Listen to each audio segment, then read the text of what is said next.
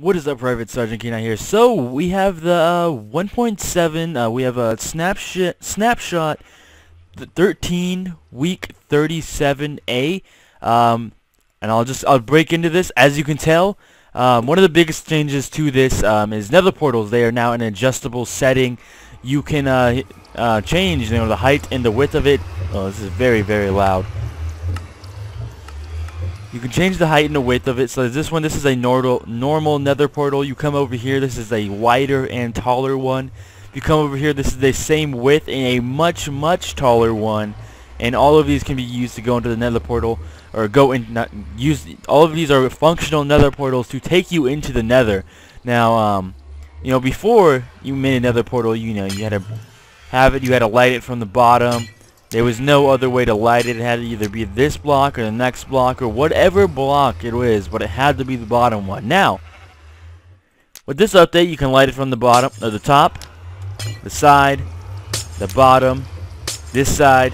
Doesn't matter. The corner, it will always light the portal, which I think is really, really cool because, you know, it was many times annoying when you would, uh, before you would click here and the little fire would just be on there and it wouldn't actually light the portal. Now it can light the portal with much ease. Now there are little smaller things that have been added to the game.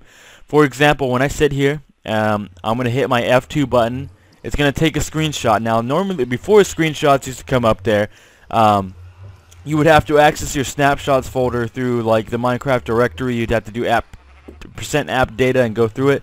Now, if, you know, take a screenshot if I go and I, I open my chat and I click on either one of these screenshots, it will automatically open that picture directly from my uh, from my uh, screenshot folder, and from there I can access it, save it, move it to somewhere else. Um, another little small thing that they've also added is uh, mob heads, or not really mob heads, is you know before, you know this is a, a basic Steve head. Before um, in you know servers or you know, adventure maps, you had to actually use um, MC World Edit to reskin uh, texture of heads, but now it is um, much easier to do it, or you can actually do it from Minecraft itself. You you do player skin head, I don't remember the exact command, but it will take the player's skin, their texture from their head, and automatically put it on the Steve head, which is uh I think is really nice. It looks like that uh, sheep just went through the portal.